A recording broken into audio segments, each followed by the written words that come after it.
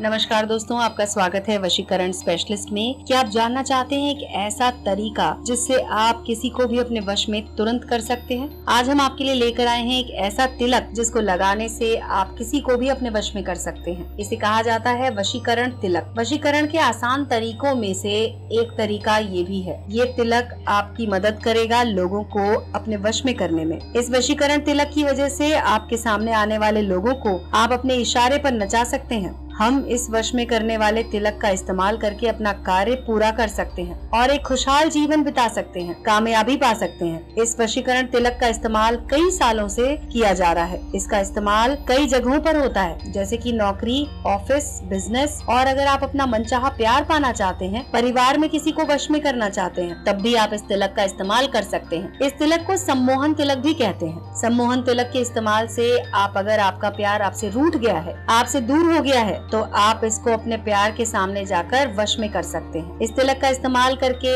आप किसी से भी अपना कार्य पूरा करवा सकते हैं। तो आइए बताते हैं आपको वशीकरण तिलक बनाने का आसान सा तरीका। सबसे पहले दोस्तों, आपको थोड़ा सा सिंदूर लेना है थोड़ा सा केसर लेना है और थोड़ा सा शुद्ध गोरोचन लेना है। सबको अच्छे से मिलाएँ और एक चांदी की डिब्बी में भर के रख लें। एकदम छोटी सी डिब्बी आप ले सकते हैं। इस तिलक का प्रयोग रोज सुबह करना है और इस बात का ध्यान रखिए कि तिलक हमेशा अपने माथे के बीच में लगाएँ। तिलक लगाते समय इस मंत्र का उच्चारण करें। ये मंत्र है ओम नमो सर्वलोक वशम कराए। कुरु कुरु स्वाहा। इस मंत्र का उपयोग करते हुए आपको इस तिलक का इस्तेमाल करना है। इससे आप किसी को भी वश में कर सकते हैं। लड़की को वश में कर सकते हैं। यहाँ तक कि जो लोग आपकी बात नहीं सुनते, उन्हें भी आप अपने वश में कर सकते हैं। तो आइए इसका इस्तेमाल कीजिए और अपने कार्य पूरे कीजिए। अगर आपको लगता है की आप इसे तिलक को बनवाना चाहते हैं तो उसके लिए आप बाबा जी को कॉल कर सकते हैं और अपनी समस्याओं का समाधान पाए।